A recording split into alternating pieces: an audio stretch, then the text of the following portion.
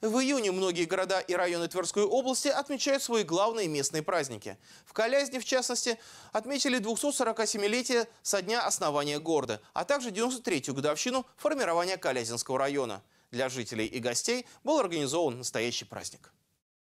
Калязин – один из старинных городов Тверской земли. Первое известное поселение, упомянутое в одной из русских летописей на месте современного Калязина, называлось Никола на Жабне. Его появление относится к концу 12 столетия. Во второй половине 19 века Калязин славился своими купеческими родами, многие из которых были хорошо известны своей благотворительностью. Сегодня Калязинский район является одним из признанных туристических и духовных центров Верхневолжья. У города и района немало друзей, которые в праздничный день приехали поздравить калязинцев. Впервые Впервые город посетила член Совета Федерации Людмила Скаковская. И листая летопись города, района, мы с вами видим страницы, с которых встает перед нами Афанасий Никитин, который вхождением за три моря упомянул о городе, потешные полки Петра Первого.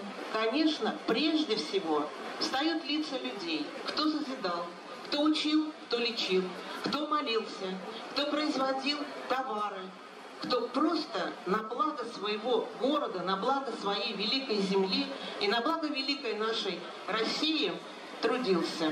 За последние годы в районе проведено много работ по благоустройству территорий и ремонту дорог. Отреставрирован главный символ города – колокольня Николаевского собора. Сейчас благоустраивается набережная. Также в Калязине с особым размахом отметили День работников легкой и текстильной промышленности. В районе работают предприятия с многолетней историей, а также молодые производства.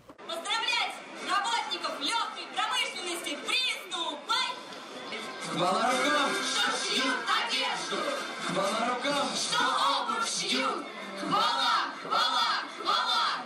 праздничный день на сцене состоялось чествование золотой пары Валентины и Анатолия Кононовых, которые прожили вместе 50 лет, и молодоженов Виктории и Дмитрия Бобровых. Завершилась праздничная программа дискотекой и огненным шоу.